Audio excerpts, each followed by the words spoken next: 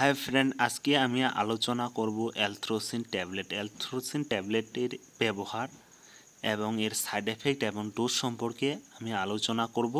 তবে আপনারা যদি আমার চ্যানেল নতুন হয়ে থাকেন, তাহলে আমার চ্যানেলটাকে সাবস্ক্রাইব করে আমার পাশে থাকবেন ফ্রেন্ড অ্যালথ্রোসিন ট্যাবলেটের ব্যবহার। এটি শ্বাসনালীর যদি কোনো সংক্রমণ হয়ে থাকে বা ইনফেকশন হয়ে থাকে, সেক্ষেত্রে ব্যবহার করবেন। দুই নম্বর, মারাত্মক ধরনের ফুসফুসীয় প্রদাহ বা মারাত্মক ধরনের লাঞ্চে যদি প্রদাহ হয়ে থাকে ইনফেকশন হয়ে থাকে, সেক্ষেত্রে ব্যবহার হয়ে থাকে। তিন নম্বর, পোড়া বা ঘায়ের মধ্যে যদি কোনো সংক্রমণ হয়ে থাকে, সেক্ষেত্রে ব্যবহার হয়ে থাকে। চার নাম্বার, সাধারণ ব্রণর ক্ষেত্রে ব্যবহার হয়ে থাকে।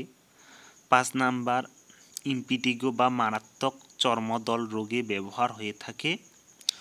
ছয় নাম্বার লোমকূপে যদি কোনো প্রদাহ হয়ে থাকে, সেক্ষেত্রে এই ট্যাবলেটটি ব্যবহার হয়ে থাকে।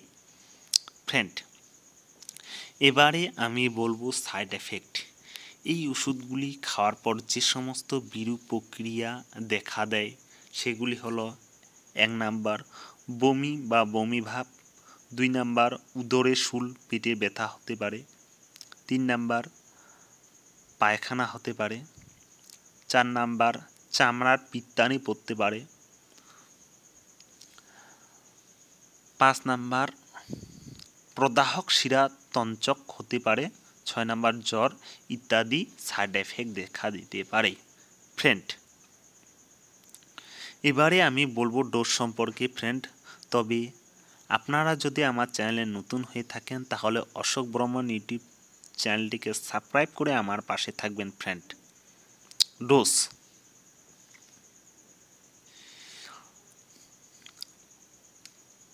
অ্যালথ্রোসিন আড়াইশো থেকে পাঁচশো মিগ্রার দিনে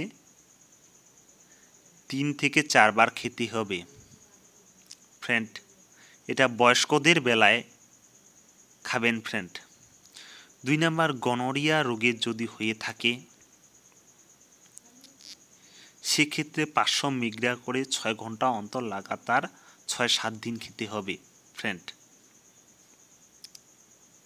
আর শিশুদের ক্ষেত্রে তিরিশ থেকে পঞ্চাশ মিগ্রা